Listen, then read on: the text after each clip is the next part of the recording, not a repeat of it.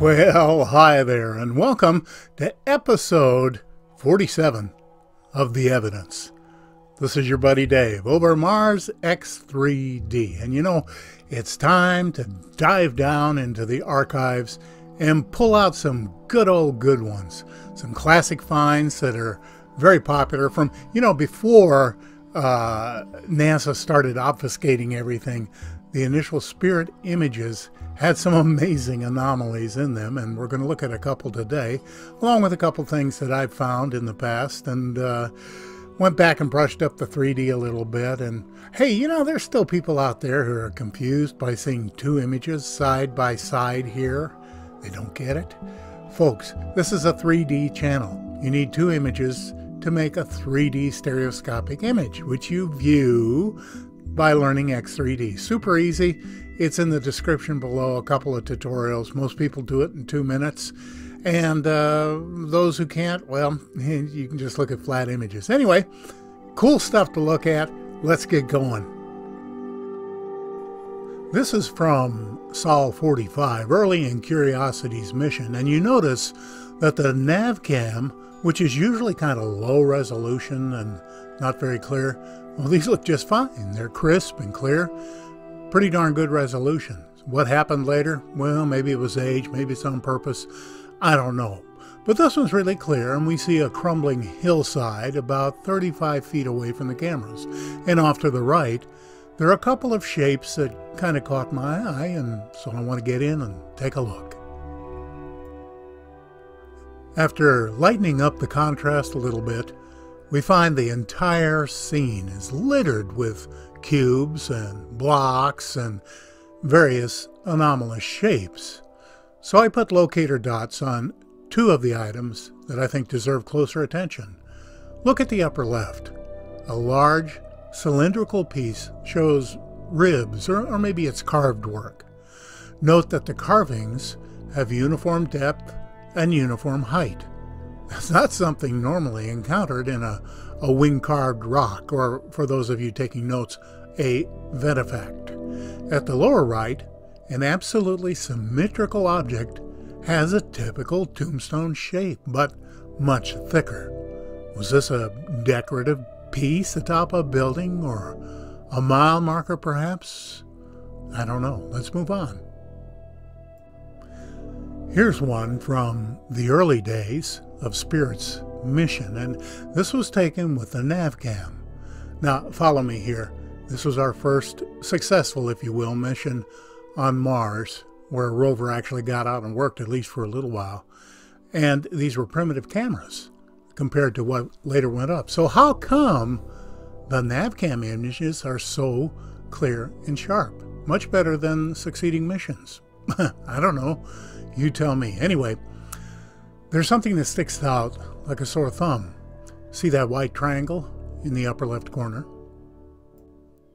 That kind of looks like a, a white tent, doesn't it? Or maybe um, a hollow pyramid with one side missing. What in the world is this?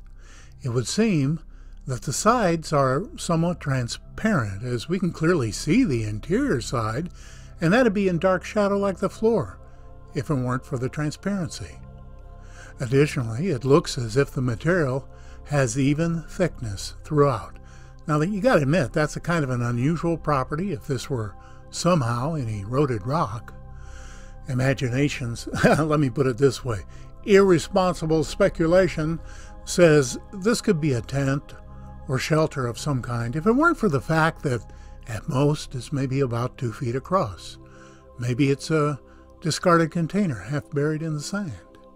Whatever it is, it certainly isn't natural, and it certainly doesn't belong there.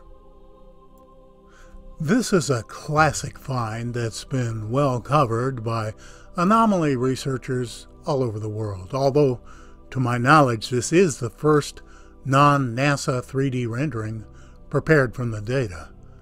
The first view gives an idea of the size and the location of what has been called variously a trinket, a sprocket, or a gear. I call it sunburst deity for reasons which will soon become apparent.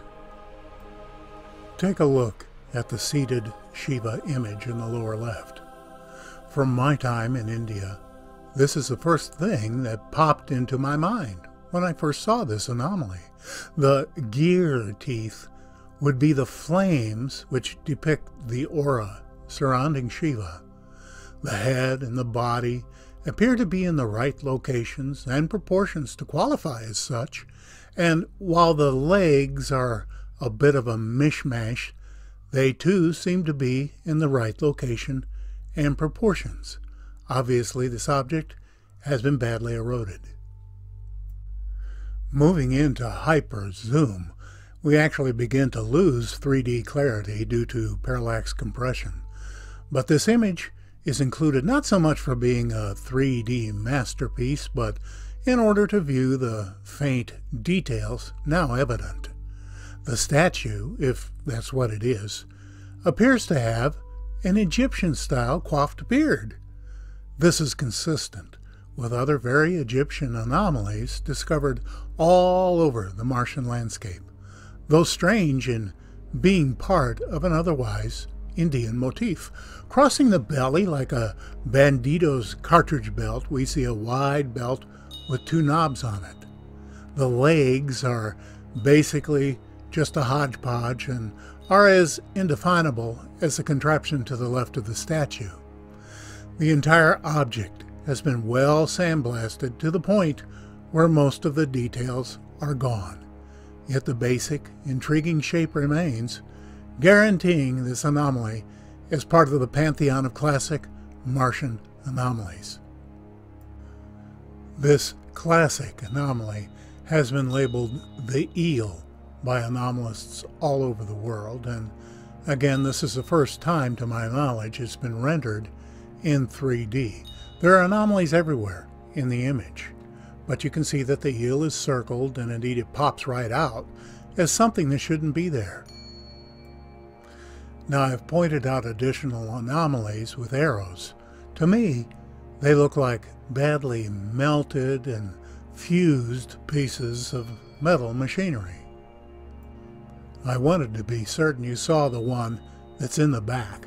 Notice the perfect hole surrounded by what could be a hex nut type of pattern. Overall, it resembles, to me, uh, an engine block that's gone through tremendous heat.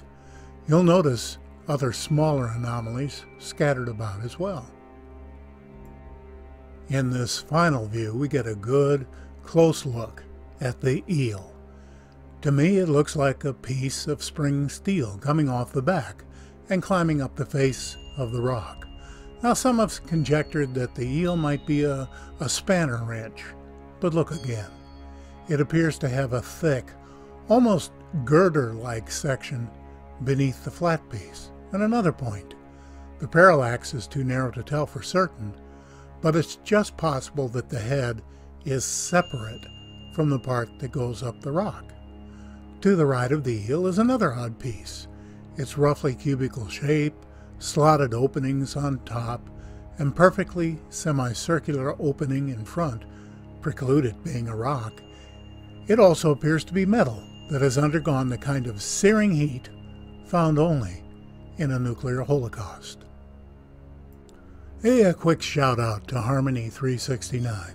Brother, thanks for your comments, but when I click on them to respond, you disappear. I don't know what the deal is, but I appreciate you, man. Thank you. And by the way, if you've got an anomaly to share with me, use the email under the description. This is your buddy Dave over Mars X3D. Be well.